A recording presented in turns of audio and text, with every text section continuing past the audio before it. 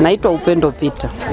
Mimi kutokana na hali iliyokuwepo ya gari kupaki kwa muda mrefu, nilikuwa najisikia vibaya, na ndio maana nilikuwa najaribu kuulizia ulizia kwamba jamani, labda kuna mtu anamfahamu huyu baba, mbona simuelewi? Eh, na baada ya kuona sasa muda unazidi kwenda, ndio ikabidi nimtaarifu kiongozi wangu balozi kwamba balozi, hii gari vipi? Mm. Kwa hiyo alivyotambua ndio akaenda naye ngazi za juu. Tunashukuru pia kwa kutusaidia kuliondoa ili tupate amani. Rusajo Kifamba e, ni kiongozi wa Chama cha Mapinduzi kwenye kata hii na ile eneo ni la kwangu. Baada ya kupata taarifa hizi toka jana, siku ya jana kwamba kuna gari hapa ina zaidi ya siku sita saba ipo hapa. Jana mwenyekiti wangu wa mtaa tukamwelekeza, akajaribu kufuatilia, akaonekana bwana anaeleza maelezo na mgonjwa na kadhalika. Leo ika- tuka- tukakusanyika tukaona basi vema, hebu tu- tumzuie anapokuwa, kwa sababu analala kwenye gari, tuka anapotoka tukam- tukam- tukam- tukamzingira kwamba hebu tunaomba tueleze mwenzetu kuna nini kinachoendelea. Kweli amejaribu kujieleza sana, ni daktari na nini, kaeleza maelezo mengi sana, lakini kubwa zaidi mpaka limepelekea hata kutuita polisi. Binafsi kwanza maelezo yake mimi sijaridhika nayo, yani ndio lazima nieleze ukweli, sijaridhika nayo. E, unajua hii, hii ni sehemu ya hoteli. Huyu ni mwekezaji kwenye eneo langu au kwenye eneo letu kata ya Mwakibete. Sasa maelezo yake daktari, unafika sehemu una, una, una shughuli yake ni kubwa. Daktari anakwenda Kongo, anakwenda wapi, anakwenda wapi, anafika sehemu anaogopa gharama ya kwenda kulipa hela ya hoteli, na wakati huo yeye anasema nimekaa siku zote, sikutegemea kukaa siku zote, lengo langu lilikuwa nikae siku moja au mbili. Kwa nini hizo siku moja au mbili usichukue chumba? Haya, unaendelea kukaa, unaendelea kukaa kwenye gari, unasema nikutegemea ndakaa siku moja au mbili. Kwa hiyo kuna vitu ambavyo kwa kweli vimetupa mashaka sana, ndio maana tumepelekea polisi waje, basi wachukue maelezo. E, taratibu nyingine tunawachia polisi waendelee nazo. toka nifika kwanza nilihisi kama ni mgeni wa kawaida na ni mteja wa kawaida, ndio maana hata gari ilivyopaki hapa nilifikiri kama gari zozote za wateja wangu, lakini ilipokaa siku ya kwanza, ya pili, ya tatu nilifanya kumwoja afande wangu, inakuwaje hilo gari limekaa sasa ni siku ya kadhaa, mbona gari zote za wateja zikifika zinaondoka, huyu bwana inakuwaje? Afande akaniambia akasema kwamba ni kweli huyu bwana ni kama mteja wetu, akanielekeza yule pale anakunywa, lakini inaonekana yeye hapa bwana amefika Mbeya kwa shughuli maalum ya kwamba ana mgonjwa amekuja kumtibu. Nikamwambia hapana, kama ni ana mgonjwa amekuja kumtibu, kwa nini asichukue chumba badala yake tunamwona akitoka kwenye gari? Umeona? Haya, baada ya hapo ikaonekana akatamko likaonekana kwamba huyu mtu anaonekana kwamba hana hela za kuweza kukidhi mahitaji ya kuchukua chumba. Mimi nikaambia kwamba hapana, vyumba vyetu upande wa loji ni bei ndogo ya shilingi elfu kwa ishirini. Nikaambia afande kwamba ikiwezekana, hebu huyo mtu fanya namna yoyote achukue chumba hata cha shilingi elfu kwa elfu kumi ili kunusuru ile gharama anayoiona ni kubwa. Lakini baadaye tamko likaja kwake kwamba amesema kwamba hawezi kuimudu elfu kumi bado kutokana na gharama kwa kubwa. Nikamwambia hapana, kutokana na hili hatutoweza kukaa naye hapa kwa namna yoyote. Akasema ni kweli, ila akadai kwamba yeye ana ndugu yake yuko pale na amekuja kwa shughuli maalum yake tabibu. Nikamwambia ni kweli, lakini tunatakiwa tulifikishe katika vyombo vya habari, vyombo vya, vya, vya, vya usalama na viongozi wetu wa mtaa kabla ili anaenda kulifanyia utaratibu tayari mazingira ya, ya, ya, ya, ya, ya, ya mtaa kwa maana ya balozi na nani wakawa wamesha kuwa na hilo jambo nao katika kushtuka, wakaja kutu, kutueleza na sisi. Toka siku ya kwanza nilipofika, mtu wa kwanza kumuuliza ni mlinzi, sijui kama ametoka au yupo. Mtu wa kwanza kumuuliza kama ni, kwa sababu mi najua hapa kuna nyumba hii ya wageni, Hata hii nyumba najua hii nyumba ya wageni, na huyu ndo huyu, yaani mmiliki wa hii ndo mmiliki wa hii. Nilipofika nilisimama hapo nikamtafuta mlinzi hapa, nikamwambia bwana, mimi nimekuja Mbeya kwa shughuli zangu binafsi Kutokea wapi? kutoka Iringa, kutoka Iringa. Lakini sababu ya kuja eneo hili baada ya kufika Mbeya, kuna mtu namfahamu ambaye ni mwenyeji wangu, naweza nikasema anakaa hapo chini, aliniambia ana mgonjwa. Mimi singeweza sikuwa na lazima ya kufika hapa, yaani kufika hapa nilifika kwa sababu ya urahisi wa huyu bwana. Ana mgonjwa nyumbani, ni mgonjwa wa akili, kwa hiyo tunafanya mazungumzo pamoja na nini Nikamwambia basi, wakati mimi nafanya shughuli zangu nitakuwa jirani na wewe hapa. Sasa shughuli za kimsingi, mimi, mimi ni, ni, ni daktari lakini nimestaafu. Juzi tulikuwa tunaongea na hawa ndugu zangu wawili, nikawaambia tu habari ya huyu mgonjwa, lakini mimi kitu nilichokiandika kwenye ofisi ya polisi ni kile ambacho kweli kilinileta. Maana yake ni kwamba mimi nimestaafu, natafuta tu fursa za shughuli zangu naweza kufanya wapi. Nikaja Mbeya, naangalia naweza nikapata shughuli yoyote ya kuweza kufanya, labda kama ni hospitali au wapi, dispensary, kama ni duka la dawa nini, ili niweze kufanya shughuli zangu baada ya kustaafu. Kwa hiyo nilivyofika sasa katika kuangalia mambo hayo, nakutana na wenyeji na wenyeji nao wafahamu. Huyu bwana sikumfahamu kabla, nimekuja kufahamiana tu kwenye movement za hapa hapa mjini. Ana mgonjwa hapo, ana mgonjwa wake, basi huwa namhudumia kwa kile ambacho kinaonekana kinawezekana kinawezekana.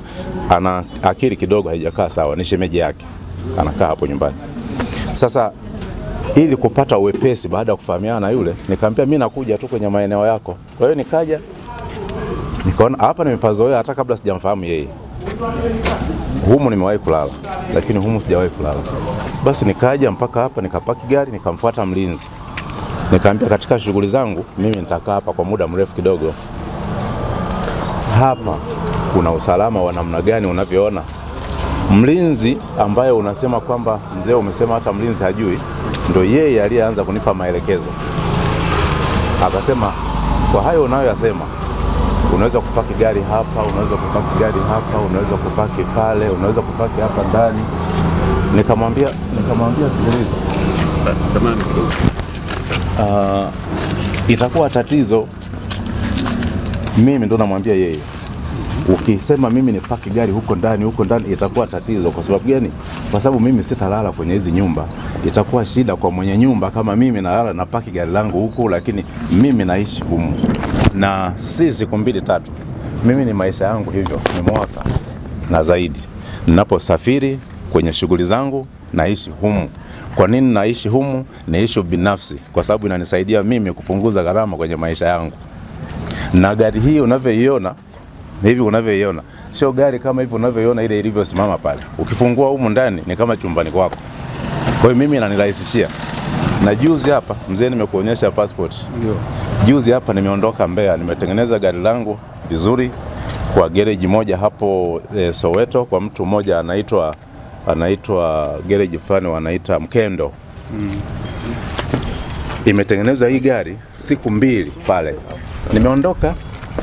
Ukiangalia hapa utaona nimeenda Burundi, nimeenda Kongo kwenye shughuli zangu binafsi, katika namna ya kujiweka imara kwenye ile ambayo inafanya nini, nataka kuifanya katika ambayo si lazima nifanye Mbeya. Nimeenda nimerudi. Sasa safari hii yote nilokaa kule sijui siku kumi na tatu mimi nimeishi humu, sikulala kwenye nyumba ya mtu yeyote. Sasa shida inakuja swali moja tena. Bwana Dokta. Sisi hapa tuna samani kidogo. Nasikia bwana kiongozi. zaidi ya mwaka. Yaani mimi kila ninaposafiri mimi silali kwenye nyumba ya wageni. No, Hujajibu swali langu. Simama kwa. Unajiamini vipi? Sasa Samahani macho, sina pesa ile ya kulipa kwamba nalipa hizo siku zote humo. Kwanza, na hata huyo jamaa yako ambaye unasema anaitwa nani? Anaitwa Bosco. Bosco ambaye yuko chini. Tunge kulaje hata nyumbani kwake? Nyumbani kwake afande, tukifika sasa hivi hakuna pa kuweka gari, hakuna pa kulala. Hata sasa hivi tufike, si anakaa hapo chini. Tumeshafika hapa. Aha. Staafu kama nimesha staafu na na hela yangu serikali wamenipa, maanake natafuta wapi naweza nikafanya shughuli zangu binafsi. Kwa hiyo sifanyi shughuli za kitabibu kwenye hospitali ya mtu yeyote. Gari mimi natembelea tu, natembelea mimi kama mimi na kwamba mmoja ameuliza kwa nini nalala humu, kwa nini nisilale ndani ya hoteli? Ndani ya hoteli nikalala, muulize shilingi ngapi? Yule meneja huyo hapa, muulize shilingi ngapi, alafu kwa nini nilipe hiyo hela wakati naweza kulala kwa namna nyingine? Na si Mbeya peke yake, lakini tukio hili hivi kwa Mbeya ndio mara ya kwanza peke yake, lakini sehemu nyingine mimi natembea nikitafuta shughuli zangu kwa kutumia gari hii. Sasa maafande si wako hapa, wanapofika mahala wakasema tuone humo ndani kuna nini, wanaruhusiwa, watafungua, wataona, ndo watajua kwa nini naishi humo na naishije, naishi kwa tabu au naishije. Unajua bosi, iko hivi. Swala la kiusalama, wakati tunakuja hapa tulijaribu kumwelekeza nani mlinzi pana moja mbili tatu, lakini yamkini kwamba anaweza kakaa siku zote hizi, hatukuweza kujua.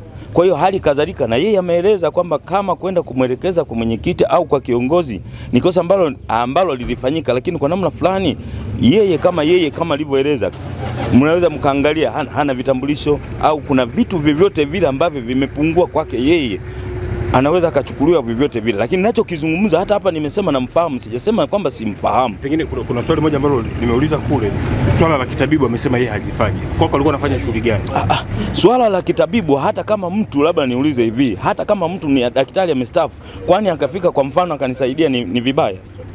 Hujaelewa kuja yangu. Amesema hivi hafanyi shughuli kabisa zani za kitabibu, amekuja kwenye shughuli zake za kutafuta fursa za kiu za kazi.